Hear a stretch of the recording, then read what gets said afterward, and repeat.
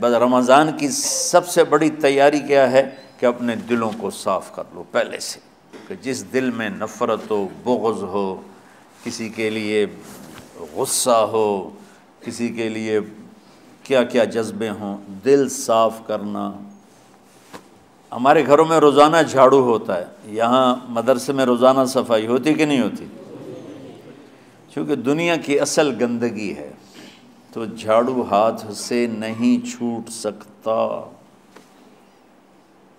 हरम शरीफ में देखा कैसे चारों तरफ़ खुदाम फिर रहे होते हैं बुरश लेकर। तो दिल पे गुबार ऐसे आता है जैसे सहन में गुबार आता है। दिल पे गंदगी ऐसे आती है जैसे सहन में आती है। तो हमने निज़ाम बनाया हुआ है, लोग वो कर रहे हैं, वो रोज़ाना झाड़ू देते हैं। तुम्हारा दिल एक आँगन है, एक सहन है, इसमें बुगज़, नफ़रत, हसद, पता नहीं क्या क्या गंदगियाँ आएँगी और आती रहेंगी। बच्चों, एक काम करो, झाड़ू पकड़ लो, साफ़ करो। या अल्लाह, मामला तुझसे करना है, लोगों से नहीं। किसी ने बुरा कहा, किसी ने गीबत की, किसी ने गाली दी, किसी ने धक्का दिया, किसी ने हक मारा, किसी ने कुछ किया। अल्लाह तेरे सपोर मैंने अपने दिल को सबसे साफ़ किया। मैंने अपने दिल को सबसे साफ़ किया। ये इतनी बड़ी इबादत है कि बड़े बड़े नफलों वाले तहजद वाले, हज, उम्र, रोज़े वाले तुम्हें नहीं पकड़ सकेंगे। क्योंकि इसका करने वाला दुनिया में कोई नहीं। नफल पढ़ने वाले तो बेशुमार हैं, उम्र करने वाले बेशुमार हैं, उलमा बेशुमार हैं, हाजी बेशुमार हैं सखावत करने वाले बेशुमार हैं। लेकिन इस टुकड़े को साफ़ करने वाला लाखों में एक भी नहीं है। मुश्किल काम है। आप ये सीख लो। साफ़ करो साफ़ करो साफ़ करो। ये रमज़ान की सबसे बड़ी तैयारी और इल्म को हासिल करने की सबसे बड़ी चाबी है कि अपने दिल को खुला कर लो। कोई चीज़ खाली होगी तो कुछ आएगा। जिस दिल में बुग्ज भरा हो, नफ़रत भरी हो, हसद भरा हो कीना भरा हो, उसमें खाक आएगा उसमें तो इल्म की एक किरण भी नहीं आएगी। उस ज़बान से चाहे जितने मर्ज़ी मोती बखेरे, दिल उसका अंधा होगा। लातामल अबसार हो लेकिन तामल लतीफ़ सदूर। ये आँखों से अंधे नहीं, दिल से अंधे हैं। तो बच्चों, अपने दिल को साफ़ करना सीखो। वो कितनी मशहूर हदीस है, आपने कहा, इस दरवाज़े से एक जन्नत आ रहा है। तो एक अंसारी साहबी दाखिल हुए, जूता हाथ में, दाढ़ी में वज़ू का पानी। अगले दिन, इस दरवाज़े से एक जन्नत आ रहा है तो एक सहाबी आए, हाथ में जूता, दाढ़ी में वज़ू का पानी, वही सहाबी। अगले दिन, इस दरवाज़े से एक जन्नत आ रहा है तो वही सहाबी तीन दिन जन्नत की बशारत लिए ली इस सहाबा की जमात में एक शख्स हैं, जिनका नाम है अब्दुल्ला बिन आमर बिन आस। इनसे बड़ा इबादत गुजार सहाबा में कोई नहीं था, ना सबकिन में, ना मुताखरीन में, ना पहलों में, ना बाद वालों में। इनकी इबादत क्या थी? सारी रात जागना, सारे दिन का रोज़ा और एक ख़त में कुरान सुबह से शाम। इतनी अल्लाह ने ताकत दी थी, फिर वो गुलूब वाली बात आ गई। एक्सट्रीम होने वाली बात आ गई। इनकी शादी शादी वाली रात हजला अरूसी में दाखिल हो रहे हैं, दुल्हन के कमरे में दाखिल हो रहे हैं, और मुसल्ला बिछा के अल्लाह अकबर।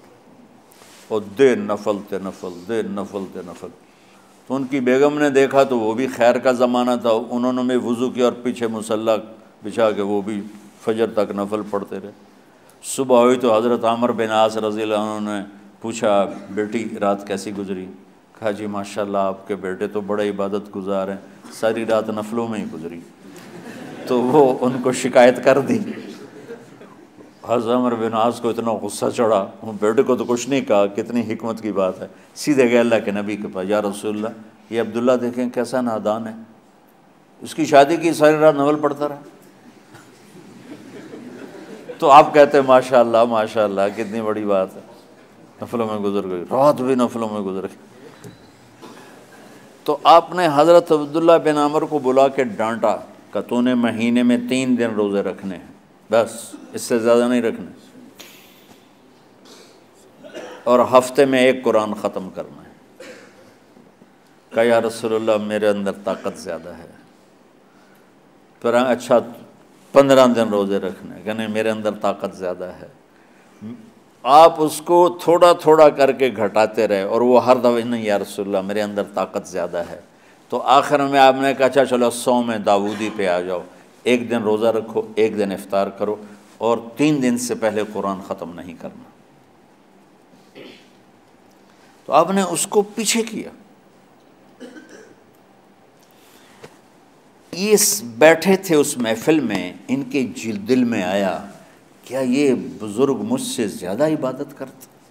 रात में सारी जागता हूँ, दिन रोज़ा रखता हूँ, एक ख़त्म करता हूँ तो जन्नत की बशारत तो मुझे मिलनी चाहिए थी। इनको कैसे मिल रही?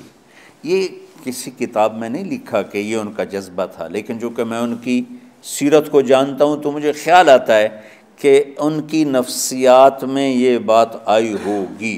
चूँकि सिर्फ़ उन्हीं को ख्याल आया कि मैं जाके देखता हूँ कि ये बुज़ुर्ग क्या करते हैं। तो उनके पास पहुँच गए। चाचा, ज़रा वो अधेड़ उम्र थे। चाचा, वो मेरे अब्बा थोड़े नाराज़ हैं तो कुछ दिन आपके पास गुजार लो का बेटा, बिस्मिल्लाह, आ जाओ। अब रात होते ही ईशा की नमाज़ पढ़ के उन्होंने जल्दी से चादर ऊपर ली और यूँ सुराख करके उन चाचे को देखने लगे ऐसे कर कि अब ये क्या गल सारी रात सजदा करेगा? और सारी रात रोते रोते रोते रोते मसल्ला गीला हो जाएगा। या सारी रात रुकू करेगा, सारी रात क्याम करेगा, सारी रात कुरान पढ़ेगा, इस तस्वुर से यूँ देख रहे। और वो बुज़ुर्ग साहबी तशरीफ़ लाए सराने पे सर रखा, अल्लाह बिस्म का मुँह तो वह आहिया हो गए। अब ये देख रहे हैं, अभी उठेंगे अभी उठेंगे अभी उठेंगे। उठे ना, फजर की अजान पे उठे। अब ये तो हैरान परेशान हो गए कि ये क्या उस ज़माने में तो मुनाफिक तहजद नहीं छोड़ते थे डर के मारे, कि पता ना चल जाए हमारे कुफर का। तो ये चाचा जन्नत भी ले गया तो सुता भी पे कि चलो कल देखूँगा। अगली रात फिर चादर सर पे करके और यूँ सुराख करके बैठ लेटे हुए और देख रहे। चाचा, फिर तशरीफ़ ले और सराने पे सर रख अल्लाम अब इसमें का मुँह तो वह हो गए फजर की अजान पे उठे। ये और परेशान हो गए कि मेरा नबी का फरमान तो सच्चा है, उसमें तो शक भी कुफर है, लेकिन अमल क्या है जिस पर इसको जन्नत की बशारत मिली? दो रकात नफल भी नहीं। और आज के दौर में तुम में से माशाल्लाह अक्सर बच्चे तहजद पढ़ते हैं। एक रात और देखूँगा। तीसरी रात। अल्लाह मबिस में का मुँह तो हो गई सारी रात तो तीसरी रात फट पड़े अब्दुल्ला बिन अमर। कहेंगे चाचा मेरी अब्बा से कोई लड़ाई नहीं थी। तीन दिन मैं तेरे बारे में सुनता रहा। जन्नती जन्नती जन्नती। मैं देखने आया था कि आप क्या करते हैं? आप तो कुछ भी नहीं करते हो, सारी रात सोते रहते हो। आप क्या करते हो? उनका बेटा, यही है जो तुमने देखा है। अब उनको समझ में नहीं आ रहा कि ये जोड़ कैसे बैठाऊं इधर जन्नत की बशारत, इधर सारी रात खराटे। अब ये इसमें जोड़ कैसे बैठाऊं क्योंकि नबी की बात तो गलत हो नहीं सकती। तो अब वो ना ऐसे ना बड़े बेदिल से होकर वापस मुड़े, भाई पता नहीं की चक्कर होएगी कोई गल। जब वो दरवाजे तक पहुँचे तो कह लेंगे, बेटा, इधर आना। वापस आ गए। कहा, मैं तुम्हें असल राज की बात बताता हूँ। कह क्या है? क्या है?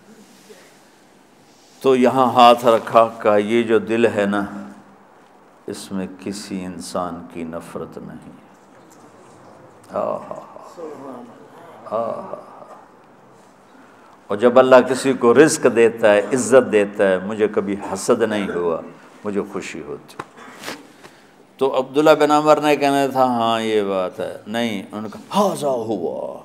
उछल के कहने लगे, हाजा हुआ। हाँ हाँ हाँ हाँ यही है यही है यही है। फिर कहने के चाचा, पर ये मेरे बस का नहीं है। कौन करेगा ये? इतने बड़े आदमी होकर कह रहे हैं कि ये मेरे बस का नहीं। तो बच्चों, दुनिया में जन्नती बनना है और इल्म अल्लाह से लेना है तो इसे साफ़ कर दो। सब की नफरत से सब। उसने मुझे ये क्यों कहा? उसने मुझे यूँ क्यों देखा? उसने मेरे बारे में यूँ क्यों कहा? उसने मेरे बारे में ये क्यों लिखा? जिसकी तारीफ़ होती, मेरी कितनी बुराई होती? सिर्फ़ तारीफ़ तो नहीं होती। भरा पड़ा सोशल मीडिया मुझे गालियाँ दें। अल्लाह के फजल से मेरे दिल में एक ज़र्रे के बराबर कभी कोई मनफी जज्बा नहीं आया। आए तो मैं धो के साफ़ कर देता हूँ। या अल्लाह, मैंने अपने दिल को साफ़ किया, मेरा मामला तेरे साथ है, किसी के साथ नहीं। यही आप रमज़ान की सबसे बड़ी तैयारी, इल्म के हासिल करने का सबसे बड़ा हथियार आपको बस ये नहीं है कि तुम्हें किताबें याद हो जाएँ, तुम्हें अशार याद हो जाएँ तो सारी उम्मत से कहता हूँ, रमज़ान का इस्तकबाल करो, दिलों को साफ़ करके, नफ़रतों को मिटा के, मजहबी नफ़रत, दुनियावी नफ़रत, रिश्तों की नफ़रत बोल चाल की नफ़रत, सियासत की नफ़रत लेन देन की नफ़रत, इन सबसे अपने दिल को साफ़ करो ताकि रमज़ान में अल्लाह ने इल्म उतारा, अल्लाह ताला आपको इल्म अता फरमाए। और बाकी लोग जो आम दुनिया में ज़िंदगी गुजार रहे हैं।